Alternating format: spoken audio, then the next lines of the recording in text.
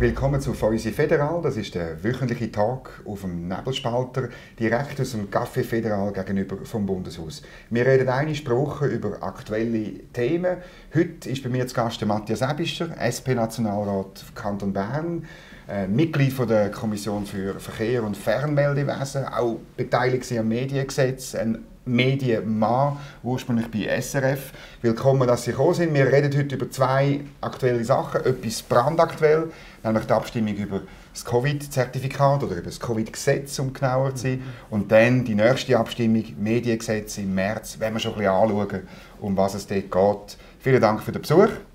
Und äh, wir nehmen den, einen Wattländer Weisse.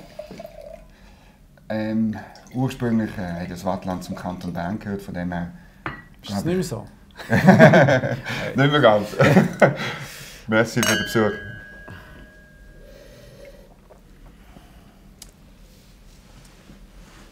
Ja. Mhm. Ähm, der Wein ist immer noch gut. Der Wein ist immer noch gut vom Wattland, auch wenn er nicht mehr zu geht. Sehr gut. Jetzt sind wir bald in der, in der heißen Abstimmungsphase über das Covid-Gesetz. Äh, Sie setzen sich ein für das Gesetz. Man soll Ja stimmen am 28. November. Was sind die wichtigsten Argumente, die für das Gesetz sprechen? Ja, also ich stimme natürlich so, wie ich im Nationalrat gestimmt habe. Und das ist ja, also da bin ich nicht der Einzige, der so gestimmt hat, sondern es haben 169, fast alle im Ständerat, alle zu ohne, zu null, ohne Enthaltungen. Und ich bin überzeugt, dass das das Richtige ist. Wir haben ja ein Epidemiegesetz, wo man schon vor 15 äh, Jahren darüber abgestimmt hat. Und ich meine, dann müssen wir uns an die Gesetze halten. Und ich bin sehr äh, überzeugt von dem Weg, den die Schweiz eingeschlagen hat mit dem Epidemiegesetz, so wie das gelaufen ist. Ich bin auch sehr zufrieden, wie es gelaufen ist die letzten anderthalb Jahre. Und jetzt muss man nicht kurz vor Schluss, ich würde sagen jetzt mal kurz vor Schluss, äh, muss man da sagen, wir sind unzufrieden oder so. Es ist ja mehr, es geht ja nicht um das Gesetz selber. Es geht jetzt um die gesetzliche Version vom letzten März, oder? Mhm. Also dort ist noch das Covid-Zertifikat drin, das ist genau. vor allem das Wichtigste. Aber wir haben ja noch ganz viele andere äh, Verbesserungen gemacht, Härtefallregelung ausbauen, Kultur, Sport besser gestellt, verlängert. Und äh, ja, also ist da voll und ganz hinter dem Gesetz. Jetzt Stein des Anstoßes von der Referendumsgegner oder von der Gegner von dem Gesetz ist das Zertifikat, oder? Mhm. Das hat man eingeführt und man hat es jetzt, jetzt dann ausgeweitet im September. Man wollte Druck machen, offiziell, damit mehr Leute gehen, gehen impfen. Aber ist eigentlich nicht so wahnsinnig viel gelaufen. Ja, eben jetzt sind wir ein bei einem springenden Punkt. Oder? Also, wir haben ja das 3G-Zertifikat. Also, mhm. Man kann entweder geimpft sein, man kann genesen sein, aber man kann auch äh, äh, getestet sein. Und ich finde, das ist ein sehr gutes Zertifikat. Also darum stehe ich ja voll dahinter. Dass, sich die, dass jetzt die Leute sagen, es sei ein Impfzwang oder weiss ich was, das kann ich nicht nachvollziehen. Das ist es definitiv nicht. Also das ist ein Zertifikat 3G vom März und darum da stehe ich voll dahinter.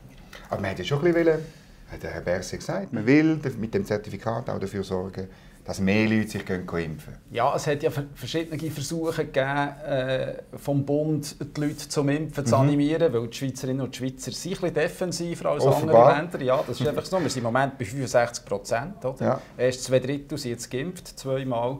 Und das ist einfach sehr wenig im Vergleich zu anderen Ländern. Und ähm, jetzt auch die Impfwoche, die da hier lanciert wurde, mit, mit diesen Konzerten und so weiter, das hat ja alles nicht so richtig funktioniert. Und auch das Zertifikat hat jetzt nicht so einen wahnsinnigen Druck gemacht, dass die Leute sich impfen. Die Schweizerinnen und Schweizer die sich selber überlegen, ob sie das wollen oder nicht. Und ich finde das gut so. Ich habe auch Verständnis, wenn die sagen, ich will mich nicht impfen. Das ist für mich okay. Aber warum ist denn, es ist ja der Weg aus der Pandemie, das Zertifikat, sagt der Herr Berse. Ja. Warum ist er denn das, wenn, es nichts bringt? Ja doch, natürlich. Also ich gehe zum Beispiel, ich habe zwei IB-Saisonkarten. Ich kann seitdem mhm. das Zertifikat da ist, kann ich die IB-Matches schauen. Und mhm. ich weiss, im Stadion sind alle Leute 3G, also sie haben geimpft oder sie haben es schon gehabt oder sie sind getestet worden vor dem Stadion. Das begrüße ich natürlich sehr. Ich kann kulturelle Anlässe gehen. Äh, das ist wirklich super. Muss ich wirklich sagen, für das haben wir es gemacht. Und äh, man kann ins Ausland reisen mit dem Zertifikat. Das ist schon etwas ganz Wichtiges. Oder? Es hat nämlich keine Chance. Und darum, äh, also, das Zertifikat ist nicht einfach schlecht oder so, mhm. sondern man kann es brauchen. Jetzt sagen die Gegner, ja, aber es bringt ja nichts. Die Fallzahlen steigen, weil Geimpfte und andere Geimpfte auch können, können anstecken können. Weil das, ja, ich, das hat man glaube ich, ein bisschen überschätzt. Äh, ja. Also das ist natürlich jetzt schon ein bisschen an den Haar herbeizogen, weil wenn man schaut, wie viele das von denen, die sich anstecken, geimpft sind, dann ist das ganz ein kleiner Prozentsatz. Also ich glaube, äh, in welchem Bereich sind wir da? 2-3 Prozent. Und alle anderen sind nicht geimpft, die sich angesteckt haben. Mhm. Also es gibt Impfdurchbrüche, das ist so. Das, das krank werden, oder? Ja, ja, also dass man krank werden kann, ob schon, mhm. dass man geimpft ist, aber das sind ganz, ganz wenige. Mhm. Fast alle, die sich heute anstecken, sind einfach nicht geimpft. Ja, also es ist so. Die, die, die, die, ja. die Impfung verhindern, die schweren Verläufe, oder? darum sind ja die Hospitalisationen auch tief. Und, und ähm, da muss ich ja sagen, ich finde ich, ich find die Impfung darum auch gut. Oder? Aber die Fallzahlen steigen ja trotzdem. Oder? Die Gegner sagen, das nützt nichts, wenn man auf die Fallzahlen schaut, das nützt etwas, wenn man auf die Spitäler schaut. Oder? Also die Fallzahlen steigen im Moment in der Schweiz noch nicht so wie im Ausland. Mhm. Also Dänemark zum Beispiel hat ja alles aufgehoben, hat gesagt, wir gehen zum Alltag genau. und jetzt wieder müssen zurückkehren. Und in der Schweiz hat man gesagt, schaut auf Dänemark, wenn wir dann die Impfquote haben, wird alles gut. Ja, ja, also da habe ich nicht dazugehört, sondern die Schweiz muss, muss einen eigenen Weg gehen, da bin okay. ich ganz klar der Meinung. Aber es zeigt mir jetzt einfach, wenn die Fallzahlen steigen in anderen Ländern, Österreich führt 2G ein, äh, mhm. Deutschland hat so Bundesländer, die mit 2G bereits mhm. kommen. Also sind wir nicht so schlecht unterwegs. Also bei uns will niemand 2G in der Schweiz. Und wir, äh, klar müssen wir die Massnahmen wieder verschärfen, wenn die Zahlen weiterhin so steigen, wie sie im Moment steigen, die mhm. letzten drei Tage. Aber also, ich will einfach noch etwas grundsätzlich sagen. Oder? Wir sind sehr gut unterwegs in der Schweiz. Und was jetzt mehr, es macht mich wirklich fast ein bisschen traurig, das Gestürm, das wir jetzt haben, die Grabenkämpfe, mhm. die wir haben zwischen den Leuten, die sich nicht impfen und denen, die schon geimpft sind, die das Zertifikat haben, äh, das stört mich. Mhm. Also das, was die Schweiz ausmacht, ist eigentlich äh, die basisdemokratischen Diskussionen mit einander zulassen, so wie wir jetzt, mhm. und wir vielleicht nicht immer gleicher Meinung sind. Meine Aufgabe ist Nein, das ist ja so, aber einfach, und nachher gibt es irgendeine, tut man es ausmehren, also gibt es eine mhm. Abstimmung hier in der Schweiz, das ist ja das Schönste, wir mhm. sind ja das einzige Land, das das macht. Mhm. Und nachher geht man wieder zur Tagesordnung mhm. über. Manchmal gehört man zu den Gewinnerinnen und Gewinnern und manchmal zu den Verliererinnen und Verlierern. Und im Moment ist das ein bisschen abhanden gekommen. Also die, das die von so. Covid-Idioten reden, das kann ich überhaupt nicht machen von Das mhm. regt mich wahnsinnig auf. Und es hat bei den Leuten, die da zum Teil demonstrieren auf dem Bundesplatz, oder, hat es ganz viele, die sich einfach nicht impfen wollen. Und denen mhm. muss man Normale zulassen und die sollen mir mal erklären, warum nicht. Ich kann das nachvollziehen. Ich finde mhm. auch, man muss kein Impfobligatorium machen in der Schweiz im Moment. Es hat natürlich auch ein bisschen komische drunter, das ist klar. Ja, ja. Und denen muss man vielleicht ein bisschen weniger zulassen. Ich höre denen auch zu, aber irgendwann laufen die ja davon. Oder? Wenn der eine das Gefühl hat, es kommen noch die Aliens und so, äh, äh ja, dann muss ich auch irgendwann sagen, jetzt, glaub, jetzt kommen wir nicht mehr auf eine normale Diskussionsbasis. Mhm. mhm. Aber im Grundsatz finde ich, dass beide Seiten ein bisschen auf Bremse stehen können.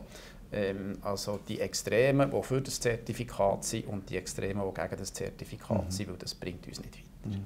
Von linker Seite gibt es auch Widerstand, oder gibt es ein die, die, das Argument, ja, das Zertifikat führt man ein und das wird dann bleiben, also man wird es für Grippe anwenden oder wir müssen alle sechs Monate dann uns boostern oder so. Was halten Sie von dem Argument? Ja, es gibt natürlich schon auch Argumente, oder sagen wir jetzt mal so, man muss es schon genau anschauen, mhm. oder? Es gibt zum Beispiel, der Datenschutz wird kritisiert, ja, oder? Mit, mit, dem, mit dem Covid-Zertifikat und da bin ich natürlich auch drauf. Also ich will nicht, dass man irgendwie mir jetzt herausfinden will, dass ich mhm. überall war und wo dass ich das Zertifikat gezeigt habe und ob es jetzt noch gültig ist oder wenn das abläuft. Äh, ich finde, da hat jeder sein eigenes Recht, äh, zu sagen, ob er das sagen will oder nicht. Oder? Und mhm. das ist schon, also dort müssen wir drauf sein. Also ich bin nicht einfach äh, Zertifikatsbefürworter und, und tut die Augen zu, sondern man muss das genau begleiten. Aber das machen wir ja im Parlament. Wir mhm. tun jede Session wir schauen, braucht es, ist das, was der Bundesrat beschlossen hat, ist das gut, wie tun wir es im Gesetz aufnehmen, müssen wir das Gesetz noch ein bisschen abändern. Mhm. Wir haben ein paar Sachen müssen anders machen, als der Bundesrat hat wollen, weil wir haben das Gefühl hatten, das sei jetzt besser. Zum Beispiel im Sportbereich ist so ein, ein typisches mhm. Beispiel. Oder auch Kulturbereich. Medien hat zum Beispiel äh, der Bundesrat am Anfang auch anders wollen machen und dann hat das Parlament gesagt, nein, das finden wir nicht gut, wir machen es so. Mhm. Und das finde ich eigentlich das muss ich schon sagen, es funktioniert hier in der Schweiz sehr gut. Man hat in dem Gesetz sehr viele Sachen dem Bundesrat übertragen. Oder? Man hat sehr viele Kann-Formulierungen gemacht. Ähm, ich frage das fast jede Person, die da sitzt, ist das, ist das Ihnen wohl dabei, die, die Verschiebung von Kompetenzen, letztlich von euch, vom Parlament zum Bundesrat? Also es hat für mich so also ich sage jetzt nicht einfach Ja. Nein, es hat für mich hat so... Noch nie gesagt, ehrlich ist gut. Also es hat für mich verschiedene Egal, Phasen Partei, gegeben, oder? Ja, ja. Also klar haben ja wir gewusst, was in diesem Epidemiegesetz steht, so ungefähr mhm. und so, aber wenn das nachher mal zum Tragen kommt, das genau. ist ja noch nie zum das Tragen gekommen. Können. Das hätte ja niemand können, dann hätte man müssen schauen, was passiert jetzt, mhm. oder? Und dann hat plötzlich der Bundesrat den Leid übernommen. Das ist natürlich als Parlamentarier ist das nicht so gäbig, wenn man plötzlich merkt, aha, was ist jetzt los?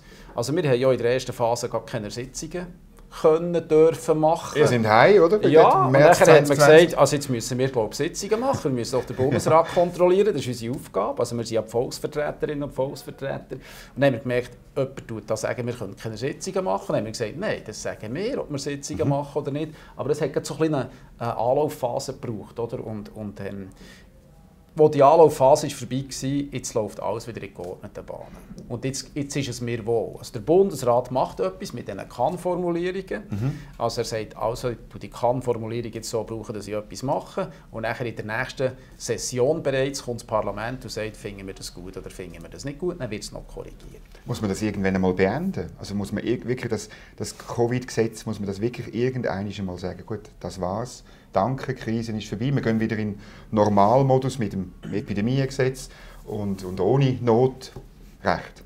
Es wird nicht, ich glaube, es wird nicht der Tag kommen, wo man einfach den Hebel tut und sagt, jetzt mm. ist wieder alles wie früher, sondern es ist eher, ich glaube, es ist eher, dass man sagt, wir probieren es jetzt, mhm. solange das, also jetzt, nicht, jetzt geht nicht, weil jetzt steigen die Zahlen wieder, mhm. und zwar massiv. Oder? Also jetzt verdoppeln sie sich, innerhalb von zwei Wochen haben sich die Zahlen mhm. verdoppelt in der Schweiz.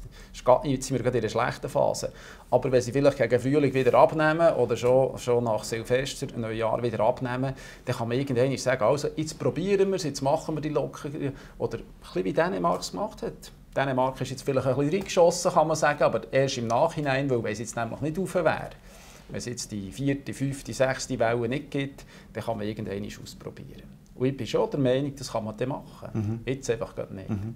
Und ähm, 2G, haben Sie selber angesprochen, ist in Österreich eingeführt worden, in Deutschland teilweise Thema. Ähm, es gibt natürlich Leute, die sagen, ja, ja, wenn die Abstimmung durch ist, kommt das auch in der Schweiz. Ich bin ganz klar gegen 2G. Weil 2G heisst ja dann schon, für die, die es noch nicht hatten, mhm. sie sich müssen impfen müssen. Mhm. Da bin ich völlig dagegen. Mhm. Ich finde, der Test ist immer noch die Möglichkeit, dass ich überall gleichgestellt bin, denen, die geimpft sind oder denen, die es schon hatten. Das ist für mich etwas ganz Wichtiges. Und auch zum Beispiel bei den Hochschulen, da setze ich mich auch dafür ein, dass die, die in die Hochschulen gehen, dass die Tests gezahlt werden von den Hochschulen. Ähm, bin ganz klar der Meinung, wir haben kein Impfobligatorium in der Schweiz. Es kann sich jeder und jeder selber entscheiden, ob er will oder nicht. Und man darf nicht künstliche Hürden mhm. jetzt machen in der jetzigen Phase. Mhm. Und 3G am Arbeitsplatz, auch das hat man so ein bisschen gehört, schon diskutieren. Ja, ich, ich finde einen Arbeitgeber, wenn er jetzt sagt, ich will auf Nummer sicher gehen, mhm. das kann man ja eh nie, oder? Und genau. dann sagt er, also, dann machen wir das 3G, dann soll er die Tests zahlen. Das ist klar mhm. meine Meinung. Mhm. Und sonst eben Tests sind kostenpflichtig ähm, seit Mitte Oktober, wenn ich es richtig im Kopf habe, also 10. Oktober. Ähm, das hat auch nicht dazu geführt, dass die, die sich bis jetzt nicht geimpft haben, sich impfen lassen. Oder irgendwie kommt, ja. man kommt einfach nicht weiter. ja, das ist man könnte ja das sich eingestehen und sagen, gut, in der Schweiz funktioniert das halt einfach nicht, wie also, in Israel oder Dänemark. Man kommt schon weiter, aber nur mal langsam. ja, okay. Und eigentlich muss ich auch noch ein bisschen sagen, oder wenn die von Covid-Idioten reden und die, die sich nicht impfen und so weiter. Man kann auch ein sagen, das ist eigentlich noch gut. Also wenn da von oben irgendetwas kommt, tut die Schweizer Bevölkerung überlegen, ist das gut, brauche ich das, will ich das, muss ich das? Ja. Ich muss ja noch nicht, also habe ich auch die Welle. Und das finde ich gut. Also ich tue das eher positiv werten. Aber es werden immer mehr. Also das Fass kann sich nicht mehr entleeren, sondern die, die sich impfen, die tun das Fass mhm. füllen. Mhm. Und irgendwann sind wir ja bei 70 Prozent. Ende Jahr vielleicht sogar schon bei 75 Prozent. Wir müssen bei 80 sein, sagt Alain ja, ja. Und niemand weiß, warum 80. Ja, ja, das ist richtig. Also am Anfang, ich kann mich noch genau besinnen, als es angefangen hat, hat man gesagt, Durchsuchungsrate müsse bei 60 sein, haben die Spezialistinnen und Spezialisten mhm. gesagt. Und dann habe ich auch gedacht, warum 60? Irgendwann hat man von 70 geredet und jetzt ist man bei 80. Ja gut, das ist in diesem Virus, ich habe manchmal das Gefühl, ähm, das, was man wirklich weiß, ist auch relativ dünn. Und ich will es auch den Expertinnen und Experten auch nicht anlasten, weil die lernen auch ständig dazu, wir lernen ständig dazu. Oder? Irgendwie, ja. Also, es also ist ich meine jetzt, ich, ich, eine Prozentzahl nennen, wenn dass wir sagen, wir probieren es jetzt mhm. wieder ohne Massnahmen, das ist irgendwie nicht vernünftig. Also mhm. muss ich sagen, sondern man muss ja dann schauen, wie sich die Zahlen entwickeln. Mhm. Also wenn wir bei 75 Prozent sind, noch nicht bei diesen berühmten 80 und wir fast keine Ansteckungen mehr haben, dann wird niemand sagen, wir warten bis 80, sondern er mhm. sagt, jetzt probieren wir es mal. Jetzt in dieser Impfwoche sind ja die Impfzentren überrannt worden mit äh, Leuten, die einen Booster wollen, die dritte mhm. Impfung, wo man auch weiss, glaube ich, die, die, dort nimmt der Schutz ab. Und es sind ja Leute, die Risikogruppen sind. Mhm. Zeigt das nicht, dass vielleicht dass in der Schweiz äh, der Schutz von Risikogruppen vielleicht besser funktioniert als eine allgemeine Impfung von allen? Also so, dass die Leute das besser verstehen, oder? Die Zahlen die habe ich jetzt nicht präsent, ob die Risikogruppe, wie viel Prozent als das von Risikogruppen ja. geimpft ist. Aber ich muss jetzt ein sagen... Weit über 80 oder fast 90. Eben, okay. Ja. Aber einfach, ich sehe das bei meinen Eltern, die sind beide mhm. über 80 und die sind natürlich bei der Risikogruppe. Für die war es eigentlich klar, gewesen, sobald es die können, haben sie sich mhm. geimpft. Mhm. Und jetzt ist der Booster im Gespräch, weil es so eben doch Impfdurchbrüche bei der älteren genau. Generation genau. gibt. Also habe ich gesagt, wir wollen das Risiko nicht unnötig eingehen. Und jetzt habe ich denen gehofft, geholfen, dass sie sich können impfen können. Also im Computer alles eingeben, mhm. wieder Termine. Und das ist, äh, ich glaube, das ist so ein das normale Vorgehen von der ältesten Generation. Mhm. Wunderbar. Ähm, Risiken, Risikogruppen führt uns gerade ins nächste Thema, nämlich zu den Medien. Ja, jetzt, Sie sind wesentlich beteiligt an dem Mediengesetz, an dem Ausarbeiten von dem Mediengesetz. Und es nimmt mich Wunder, ähm, wie Sie jemandem auf der Straße erklären, warum es jetzt das braucht. Die doch große Summen an Subventionen, wo man spricht für Medienhäuser, wo, wo ja, wo es eigentlich gar nicht so schlecht geht. Mhm. Es kommt ein darauf an, wie alt die Person ist, die ich, da, die ich es erklären muss. Oder wenn es eine ältere Person ist, dann kann sie fragen, welche Zeitungen es nicht mehr gibt, die sie in den letzten 40 Jahren gelesen hat. Und dann wird sie mir etwa fünf, sechs Zeitungen aufzählen. Dann kann ich dir sagen, eben, wir haben eine Medienvielfalt, die schwindet hier in der Schweiz. Also es werden immer weniger Meinungen die in den Medien präsentiert werden. Und das ist eigentlich schlecht. Also ich sage immer, der Gradmesser einer funktionierenden Demokratie, das ist Medienvielfalt, wie viele Medien gibt es, wie viele verschiedene Meinungen lädt man zu. Und wenn das abnimmt, und es hat massiv abgenommen in den letzten 20 Jahren, dann muss man etwas machen.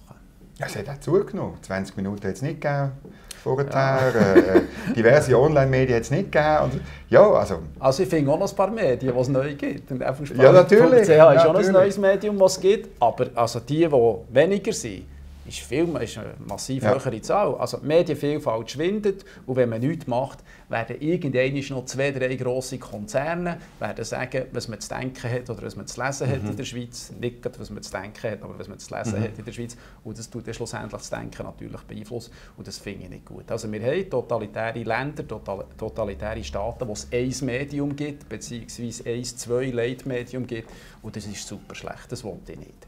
Darum haben wir jetzt ein Medienpaket, ist es übrigens, mhm. äh, geschnürt, das tut, äh, bisherige Medienzeitung unterstützen, und zwar schon so wie bis jetzt. Oder? Also mit indirekt? indirekt. Man tut, ob man dem indirekt sagt, dann ist mir eigentlich gleich. Also die bekommen einfach gleich Geld wie bis jetzt, ein bisschen mehr. Mhm. Also bei der Zustellung, vor allem wird nicht nur bis jetzt sind nur Zeitungen unterstützt worden, die in Briefkasten sind. Und eine, Brief, eine Zeitung, die um 12 Uhr in Briefkasten kommt, nützt niemandem etwas. Also jetzt wird auch die Frühzustellung unterstützt und die Sonntagszustellung, weil die Leute lesen seit etwa 30, 40 Jahren am Sonntag, am mhm. Sonntag Zeitungen. Also wieder, das hat schon vorher hat Sonntagszeitungen gegeben, das Zeitchen kennen wir. Also das ist mal das eine, äh, äh der Eintritt auf dem Päckchen, der zweite sind Online-Medien, die man unterstützt mit 30 Millionen jährlich. Und nachher gibt es noch Projektförderung, also das geht ja vor allem um die Ausbildung, um Qualitätsförderung bei den Medien. Äh, äh, Fernsehen, Radio, Privatradio, Privatfernsehen, wo mehr Gelder bekommen, oder dass man die Meinungsvielfalt mhm. hat in der Schweiz. Also, und ich finde das Medienpaket wirklich das ist ein super mhm. Paket. Man muss den Leuten einfach erklären, um was es mhm. geht. Jetzt haben die grossen Verlage im Jahr 2020, trotz Corona-Krise, oder vielleicht wegen, es hat ja dort auch noch etwas mhm. für Verlage drin gehabt, 300 Millionen Franken Gewinn gemacht. Warum sollen die Verlage Geld bekommen? Das ist eine gute Frage. Das ist natürlich jetzt etwas, was mich als linker Politiker lang umtrieben hat. Oder? Also, wie mhm. machen wir ein System, welche Medien wir unterstützen? Jetzt, wenn ich natürlich auf einem, auf einem weißen Papier hätte dürfen, wenn ich der König mhm. wäre, aber es gibt ja keine König genau. in der Schweiz, dann hätte ich es natürlich noch etwas anders gemacht. Aber schlussendlich hat man in dieser Medienkommission, KVF wie die heisst, hat man natürlich diskutiert, was ist eine faire Lösung, wie wollen wir es machen. Weil schlussendlich haben wir gesagt, jede Zeitung, die am Morgen zu den Leuten kommt, ist eine gute Zeitung. Und jetzt schauen wir mal noch nicht primär, schauen, wer hat die geschrieben und wer verdient in dieser mhm. Zeitung. Und jedes Online-Portal, das eine neue Medienvielfalt, äh, äh, zu einer neuen Medienvielfalt beiträgt oder erhöhten Medienvielfalt beiträgt, ist ein gutes Online-Portal. Und jetzt muss man einfach schauen, welche unterstützen wir, wie wir es unterstützen. Und gerade im Online-Bereich zum Beispiel haben wir lange diskutiert, soll die Verlage, mhm. wo ja auch viele Leute lesen ja heute äh, Zeitung als E-Paper, oder? also auf dem iPad oder auf dem iPhone, im Computer, also soll man die unterstützen. Und jetzt hat man gesagt, wir unterstützen die unterstützen, aber wir unterstützen natürlich die Kleinen in den abgelegenen Randregionen von sprachlichen Minderheiten prozentual viel, viel mehr unterstützen mhm. als die Grossen. Mhm. Also. Aber jetzt haben Sie natürlich das Problem, wenn Sie die Verlage oder, oder wenn Sie sozusagen das Angebot unterstützen, dann spielt keine Rolle, ob das, was die schreiben oder produzieren, überhaupt nachgefragt wird, oder? Also ist dann... Nein, nein, das ist eben noch, das ist jetzt, eigentlich ist das eine, eine zentrale Frage. Ja, die Frage, die dort ist, warum tut man denn nur die unterstützen, die Abonnentinnen und Abonnenten haben? Ja, oder einfach das Produkt... Die beweisen mir, dass es eine Nachfrage gibt.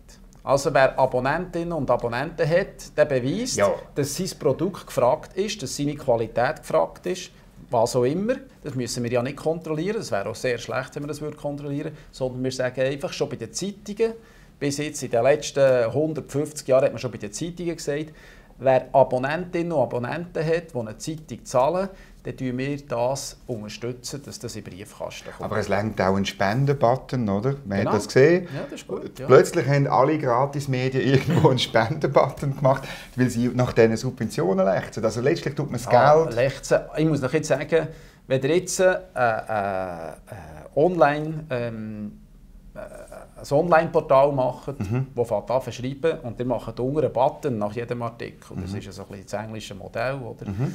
Guardian hat es glaube ich so, wenn ich mich nicht täusche. Also, der, und dort holt ihr eine Million oder zwei Millionen pro Jahr rein, dann müsste er sehr gut sein. Also wenn nach jedem Artikel die Leute sagen, der Artikel ist mir jetzt ein 5 lieber wert oder ist mir jetzt 10 Stutz wert oder jetzt habe ich in letzter Zeit 3, 4 geschaut, jetzt zahle ich wieder mal einen 50er, dann seid ihr sehr gut. Ja, man holt es dann eben im, im, im Bundesamt für Kommunikation? Nein, nein, ihr müsst zuerst gute Qualität machen, wo die Leute sagen, für das zahle ich etwas und dann, wenn ihr jetzt in einer, in einer Sprachregion, wenn ihr eine rätoromanische Online-Plattform macht oder italienischsprachige und das wenig Leute, das Potenzial von wenig Leuten haben, dann habt ihr die Chance, äh, Unterstützung bis 60 Prozent vom Bund zu bekommen. Genau. Und das, das finde ja. ich super. Ist denn nicht Gefahr, dass man dann für die Unterstützung vom Bund schreibt und nicht mehr für die Leserinnen und Leser? Das könnt ihr schon probieren. Also probiert es. Das wird nicht funktionieren. Also, also nein, aber ich meine, ich meine, wenn einer ein Online-Portal macht, nur mit der fixen Idee, er will Bundesgelder abholen, er muss zuerst Kundinnen und Kunden gewinnen, die sagen, das, was du schreibst, ist gut, für das zahle ich pro Jahr etwas.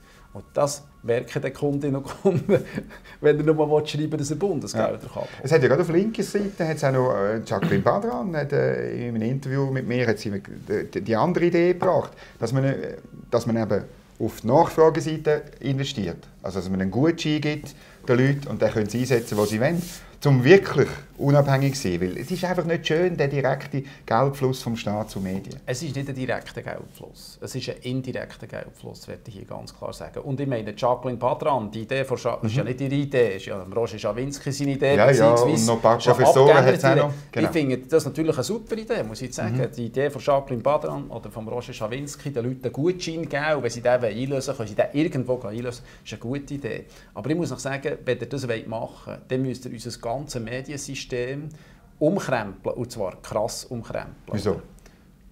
Ja, nein, ist ja klar, ist nicht so einfach. Also, das ist etwa, kommt mir etwa vor, wie wenn man, wie wenn man äh, äh, eine Schulreform macht. Oder? Nachher kommt jemand und sagt, ich finde die in der jetzigen Situation eh nicht so, so wie sie jetzt ist, ist nicht gut. Und das ist natürlich eine schwierige Diskussion. Also wir sind im Moment an der feinen Einstellung. Das Medienpaket ist nicht etwas wahnsinnig Neues, sondern es ist eine feine Einstellung. Ich habe den Gutscheinantrag unterstützt. Ich finde okay. das gut, aber den muss man länger vorbereiten. Da kann man nicht einfach jetzt schnell sagen, jetzt machen wir ein Gutscheinsystem. Das muss man also, das ist ja, ich würde jetzt mal sagen... Wo ist denn die Schwierigkeit? Das, das ist eine Planung von etwa, bis das in Kraft tritt, okay. geht es etwa 10 Jahre. Sage jetzt eben. Nein, das muss doch schneller doch. möglich sein. Ja, nein, aber jetzt haben wir, man, kann ja die, System. man kann ja Covid-App nehmen und dort einen QR-Code drauf schicken, den man dann beim Nebelspalter kann einlösen kann. also, nein, technische Lösungen für das finden wir doch. Ja, wir, wir reden nicht von Technik sondern wir reden von der Politik, wir reden vom System und dann muss es nein, irgendwann muss ein, nein, das muss ein Gesetz geben okay. für das. Ja, klar. Also, ja, also wie lange hat das Gesetz? Wir sind so lange im Business, jetzt wollen wir sagen, das kann man von heute ja, der Rekord ist, Der Rekord ist die Umsetzung von der Bundesbeschluss der Kohäsionsmilliarde, der hat genau drei Wochen gedauert. Also. die Idee von der Kohäsionsmilliarde ist irgendwie 10, 15 Und Lex USA haben wir auch. Es ist am Schluss gescheitert. Also, in, in, drei Wochen hat man es durchgepaukt, oder? Und am Schluss ist Ich hätte natürlich auch zwischen gerne, wenn unser System ein bisschen schneller geht. Aber ein gutes System, okay. wo man ein neues Gesetz fordert, das neu auszulesen. Ich finde, das kann man jetzt mal machen. Das ja. kann man parallel machen. Es gibt da schon Ideen und so weiter. Ja. Aber das braucht etwa zehn Jahre, bis es nachher in Kraft ist. Meine Befürchtung ist, bei so Subventionssystem, weiss ich von der Landwirtschaft, oder, dann tut man es alle paar Jahre, sagt man dann, man tut das Subventionssystem verfeinern, dann wird es komplizierter. Niemand checkt mehr, ähm, äh, ui, das ist jetzt ganz Bundesrat. Schlimm. Niemand checkt mehr, wie es funktioniert. Und ähm, äh, der Bundesrat nicht einmal und, und vielleicht noch ein paar Beamte und die, die Subventionen in Empfang nehmen. Oder? Und dann wird es immer komplizierter und man wird es nie mehr los. Es ist hochkomplex und, und wir werden nie zu einem guten System kommen.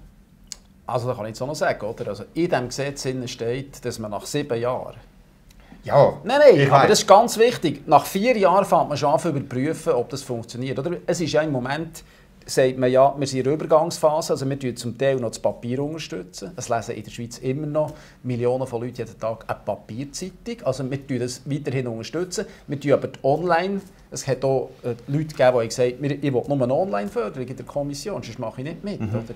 Also wir machen die das Grünliberalen, so. glaube ich, Ja, es hat Grünliberale ja. die gesagt wir nur noch in die Online-Förderung äh, investieren. Und äh, die Projektförderung war eigentlich unbestritten, gewesen, dass das Radio, Privatradio, Privatfernsehen mehr Geld bekommen. Aber einfach nicht, man ein geschaut, was wollen wir jetzt machen. Und das ist ein System, das man muss entwickeln muss. Wir müssen in vier Jahren schauen, ist das noch adäquat, was wir machen. Ja, aber das finde ich gut. Aber gibt, wissen Sie irgendeine Subvention, die zeitlich begrenzt war und dann nicht verlängert worden ist? Also, ich sage jetzt mal, ich kann mir gut vorstellen, dass in 20 Jahren Zustellung, Postzustellung von einer Zeitung nicht mehr unterstützt wird vom Bund. Mhm. Vielleicht schon in 10 Jahren nicht mehr. Das nimmt sicher ab, weil es, werden, es ist ein Fakt, es lesen immer mehr äh, immer weniger Leute ja, auf Papier. Umschichtungen gibt es vielleicht. Eben, das müssen wir machen. Die ja. Medienverlage werden nie mehr Geld von den Abonnenten sich ausrichten. Das ist auch ein wichtiger Punkt. Also wir schauen, ob wir die Konzentration auf einzelne Verlage, ob man das kann stoppen kann, ob es wieder mehr Publikationen gibt, wie zum Beispiel der Nebelspalter, wie hier in Bern die Hauptstadt, wie andere Medienportale. Wo zum vornherein sagt, wir wollen das Geld. Das Projekt Hauptstadt ist ja nur zum das Geld nein, vom Bund Nein, nein, das ist nicht so. Also die kommen sicher auch, also die ja. haben jetzt notabene, nur noch schnell, oder? Die haben jetzt mhm. innerhalb von zwei Wochen zweieinhalbtausend Abonnentinnen und Abonnenten. Ja, das haben wir auch gehabt. Ja, das ist schön. Also Schwieriger wird es später dann. Ja, ja, das ist gut. Eben, aber Sie müssen die zuerst behalten, Sie müssen gute Qualität machen. Ja, natürlich. Also ich bin überzeugt von diesem System. Ich sage, es ist austariert und wir schauen nach vier Jahren, schauen, ist das noch adäquat, wenn wir da hier jetzt in, in, mhm. ins Papier investieren, beziehungsweise der Bund das Papier oder die Zustellung unterstützt, oder gehen wir eben in die Online-Förderung. Äh, mhm. Jetzt könnte man auch sagen, es ist eine Umverteilung, und zwar von denen, die keine Medien konsumieren, und das ist gleich relativ viele Leute, äh, gemäß einer Studie da vom Uni Lugano ein Drittel der Leute, zu denen, die Medien konsumieren. Oder? Und das ist doch eine Umverteilung auch von Leuten, die weniger verdienen, zu Leuten, die, die mehr verdienen. Das ist natürlich eine Grundsatzfrage, die, die ich mir stelle als Politiker. Wollte ich, dass möglichst viele Leute Medien lesen, dass sich möglichst viele Leute informieren, dass sich möglichst viele Leute durch die Medien auch bilden? Also wollte ich das oder wollte ich das nicht oder ist mir das gleich? Und für mich ist klar, ich will das. Ich will in einem Land leben, das demokratisch ist, das eine hohe Medienvielfalt hat, das eine Med Medienfreiheit hat, Meinungsfreiheit hat. Also jeder darf schreiben, was er will, mehr oder weniger. Und das ist für mich wichtig. Also wenn ich irgendetwas sage, vielleicht jetzt so nach diesem Interview hier, mhm. dann gibt es vielleicht irgendein ein Medium, ein Online-Medium, das sagt, er ist ein Vogel und ein anderes sagt, jetzt hat er es endlich mal richtig gesagt und mhm. so weiter. Und das ist doch super. Mhm. Also so muss es sein. Wir das wollte ich Medien, auch. Äh, Medienvielfalt zulassen. Genau, das wollte ich auch. Darum sind die Gespräche für alle zugänglich. Matthias Ebischer, merci vielmals für den Besuch und ein anderes Mal. Sonst der.